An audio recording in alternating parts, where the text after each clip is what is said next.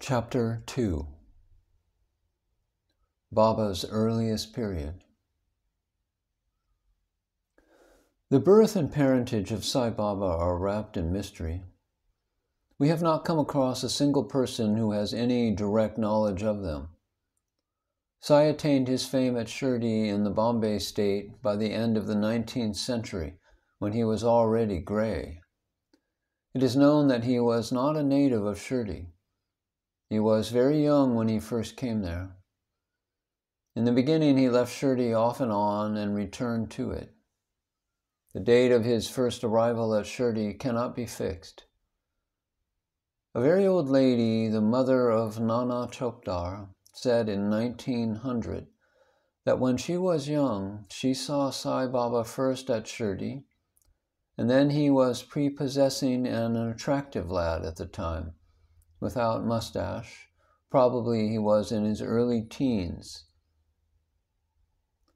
That so little is known about his early life proves that even then he was leading a secluded life.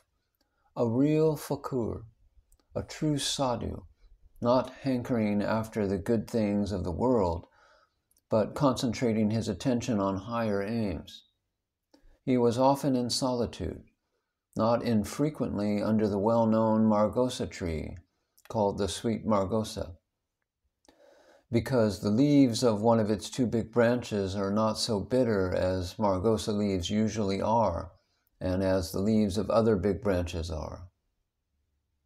Baba had no fixed residence. Real fakirs have none.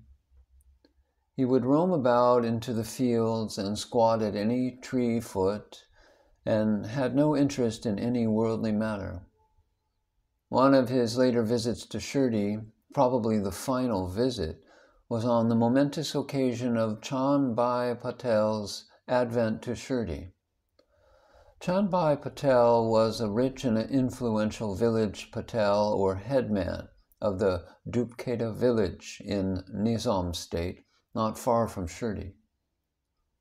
His wife's nephew had to be married to a bride at Shirdi, and so about in the year 1872 he came with a huge procession at night or in the evening, and Sai Baba accompanied him on that occasion to Shirdi. After that, except for two months when he was under Jawar Ali Mulana, Sai Baba never left Shirdi, but only made a few occasional visits off and on to the neighboring village of Rahata, from where he immediately returned to Shirdi. So his final residence was Shirdi from about 1872 till the end of his life in 1918. He discouraged questions on parentage and mostly gave mystifying answers. On one occasion, he said his father was Purusha and his mother was Maya or Prakriti, and that in consequence he came in as the into the world of phenomena. And at another time, he said his uncle had brought him to Shirdi from Aurangabad.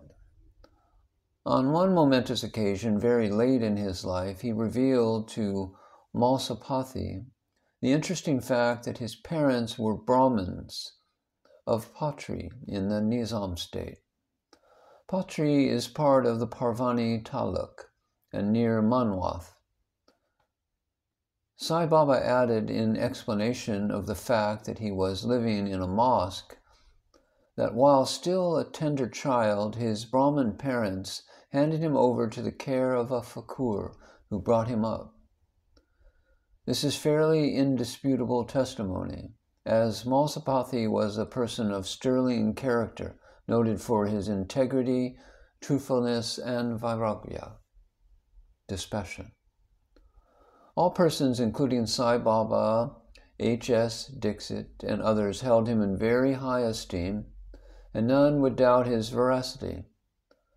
Sai Baba occasionally showed his interest in Patri and Parbhani, when people from those parts came to him by questioning them about the residents of those places. This does not take us very far, But this is practically all that we have about the birth and parentage of Sri Sai Baba.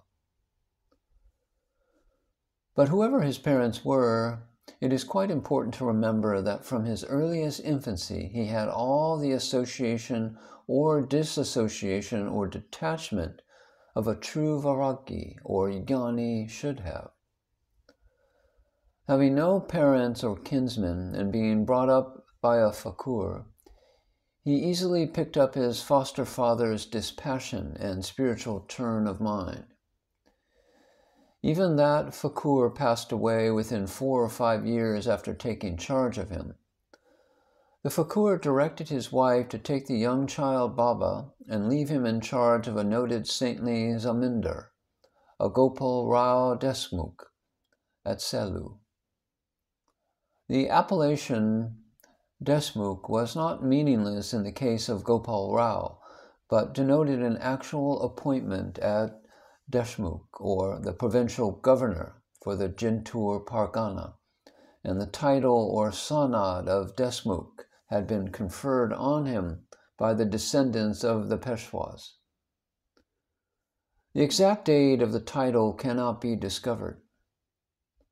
There are ballads and some old manuscripts in the possession of Deshmukh's descendants which show that somewhere about the first quarter of the last century the Peshwas recognized his military capacity, which enabled him, that is, Gopal Rao, to bring Jintur Pargana under his control with his own horsemen and other followers. Young Baba, left under the care of this Gopal Rao Deshmukh, spent the best and the most impressionable part of his life at Selu, which was the center of that Pargana, and which had a fort and castle wherein the Deshmukh resided. The young boy was very greatly attached to his master, and the master in turn was deeply interested in the boy.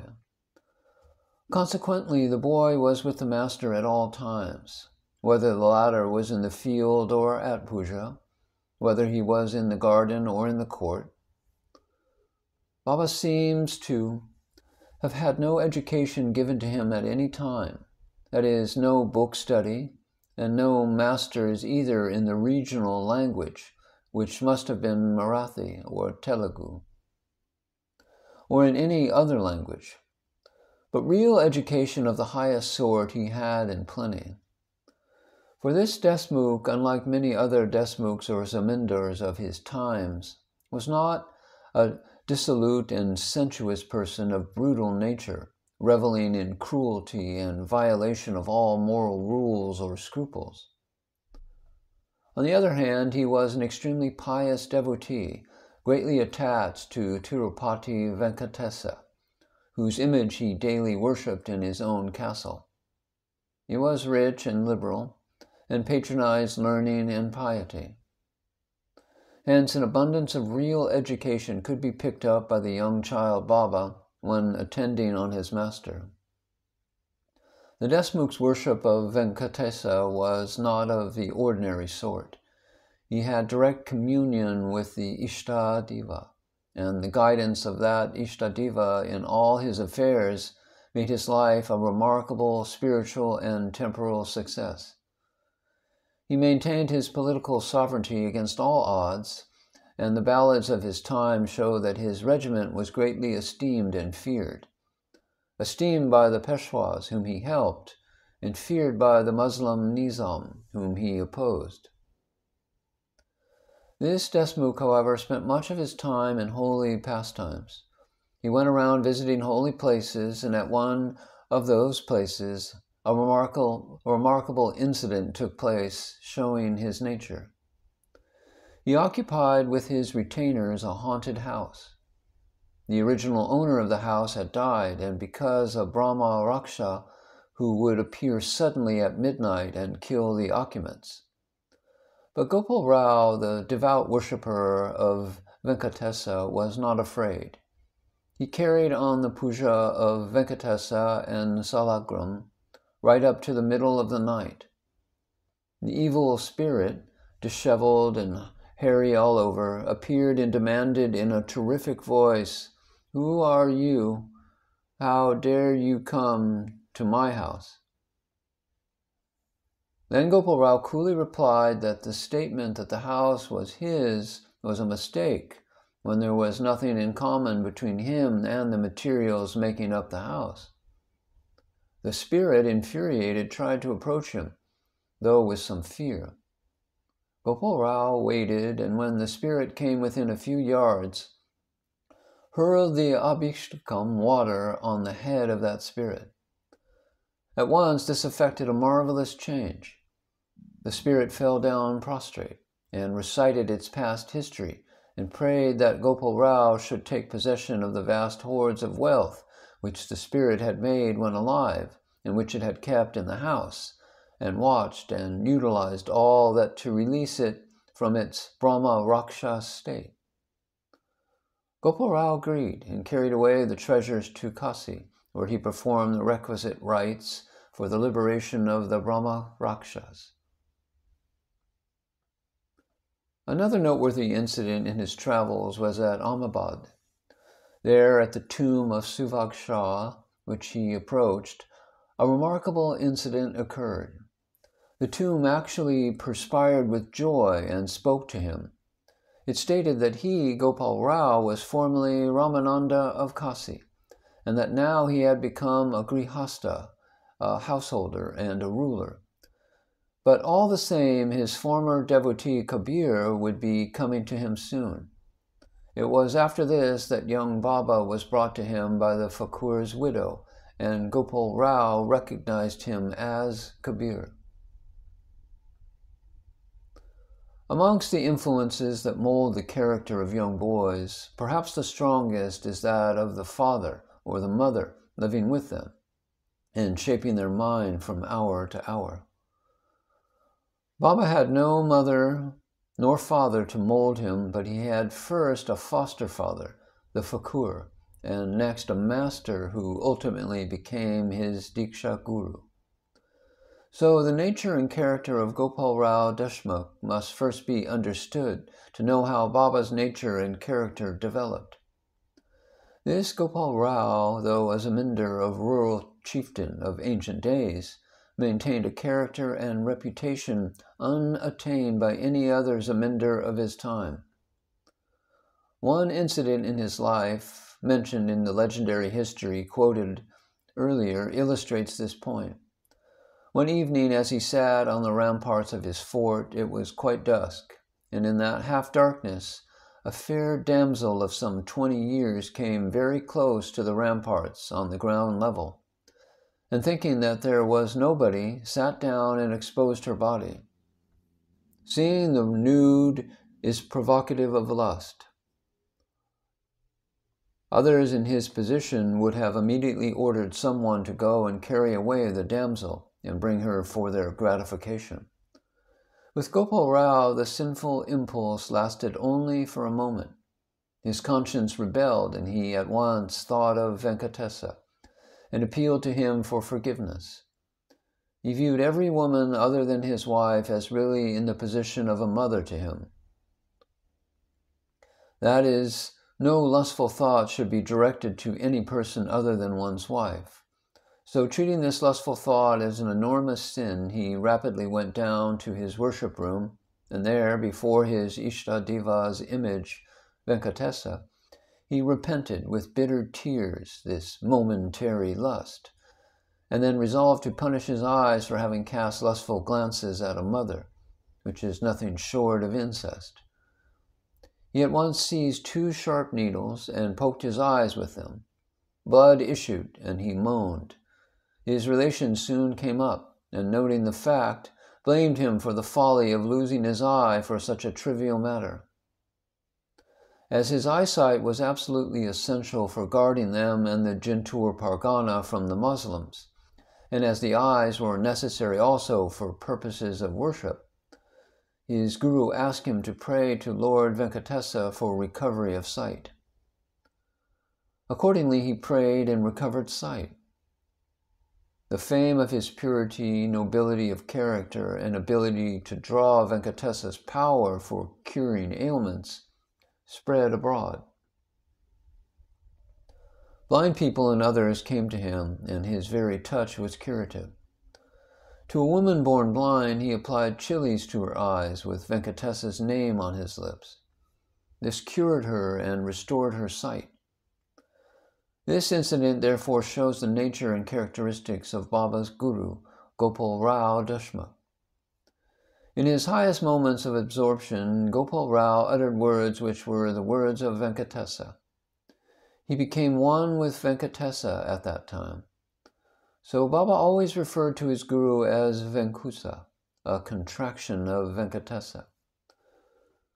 The perfect chastity, thorough self control, invariable rectitude, perfect truthfulness, generosity, and serviceability to all, which were the leading characteristics of the Guru, became transplanted and took deep root in the disciple Sri Sai Baba. We shall see next proceed to narrate how the full personality, including curative power, descended from the Guru to Baba. Baba's being favored by the master evoked considerable jealousy amongst the Guru's retainers, and some of them resolved to kill young Baba by hurling brickbats at him. During a Chaturmasya from August to November, Gopal Rao was in a garden and young Baba was attending upon him. The villains hurled bricks at Baba. One of the bricks came very near Baba's head, but the Guru saw it, and by his order it stood still in mid-air, unable to proceed further or hit Baba. Another man threw a second brick to hurt Baba, but Gopal Rao got up and got the brick on his head. This led to profuse bleeding. Baba was moved to tears, and he begged his master to send him away, as the master was getting harm from his unfortunate company. But the master declined to send him away. As for the injury, the master bandaged it with a shred torn from his own cloth, and then suddenly he said, I see that the time has come for me to part with you. Tomorrow at 4 p.m., I shall leave this body, not as a result of this injury but my, my own power of swacha marana. Therefore, I shall now vest my full spiritual personality in you. For that purpose, fetch milk from yonder black cow. Young Baba went to Hula, the Lambadi in charge of the cow, who pointed out that the cow was barren, had not calved, and could not, therefore, yield milk. All the same, he came with the cow to the chieftain Gopal Rao, who just touched it from horns to tail, and told the Lambadi, Now pull out the teats. Lambadi's pull drew out plenty of milk, and this milk was given to Baba with Gopal Rao's blessing that the full power and grace of the Guru should pass on to the young Baba. This was the Diksha, the investure the true initiation of the Guru's personality, which young Baba underwent. So far as mystic powers were concerned, the Shakti Nipata, immediately an opportunity arose for proving the transfer of power. The villain whose brickbat had hit Gopal Rao, the chieftain, fell down dead. The moment Gopal Rao was hit, his companions were horrified and they came with repentance to Gopal Rao's feet and prayed for pardon not only for themselves but also for their dead companion, whom they requested Gopal Rao to revive. The chieftain pointed out that the power of revival now rested in the young man and that they should appeal to him. They accordingly appealed, and Baba took some of the dust of his guru's feet and placed it on the corpse. The dead man rose at once. The Guru's declaration that he would pass away the next day from his life into the beyond was fulfilled. After making the fullest preparations for settling all his temporal affairs, Gopal Rao, with his full consciousness, sat up in the midst of a religious group carrying on puja and bhajan in the presence of his Ishta Deva. Sri Venkatesa, and at the solemn hour he had himself fixed for departure, his soul left in perfect peace and happiness, just as is stated in the Srimad Bhagavata. Before leaving the body, the master waved his hand westward to the young boy and bade him leave Selu and proceed westward to his new abode. Shirdi lies on the banks of the Godavari, due west of Selu, and Baba, by slow degrees, moved on from place to place and arrived at Shirdi, and after some time made it his permanent residence.